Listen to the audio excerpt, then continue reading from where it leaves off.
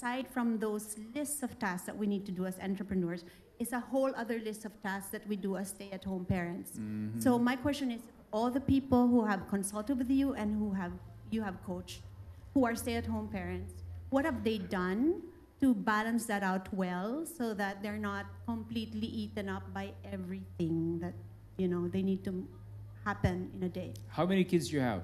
Four. Whew. How old are they? Well, two are independent because um, one is in college, one is Okay. in, about to enter senior high, but the other two are still in the grade Okay. school.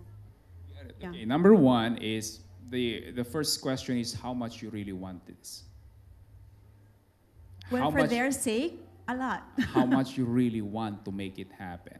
Okay? First, it won't be easy. It will never be easy anyways. Okay? Now, that is true. Mahirap po if you have the kids with you. Okay? Because I, I consider myself also as a full-time dad. Here- Here's my take. If you can still spend an hour on television watching telenovela, watching your Netflix or Netflix, okay, then you still have you still have the time. I I believe that yung yung typical that you really have to discipline yourself what can be done and what cannot.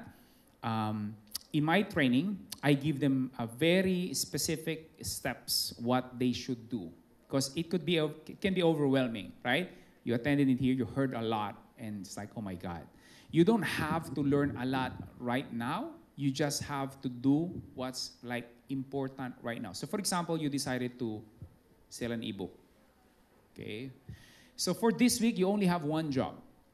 Join all the Facebook groups of stay-at-home moms in the Philippines, and then survey them. Do you, do you remember the question on screen earlier? Like, what is your single biggest question about stay-at-home mom? That's only that you have to do this week.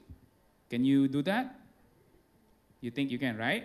Now you, you people say they responded. The next week, your job is just to outline your product, your first digital product, based on all their surveys. That's all. How do they eat an elephant?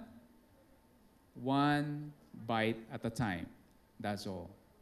It's not easy, but again, it will boil down to how much you want this to make it happen. Okay? Wait, before you go, do not forget to click that red subscribe button below. Appreciate it. Thank you for watching.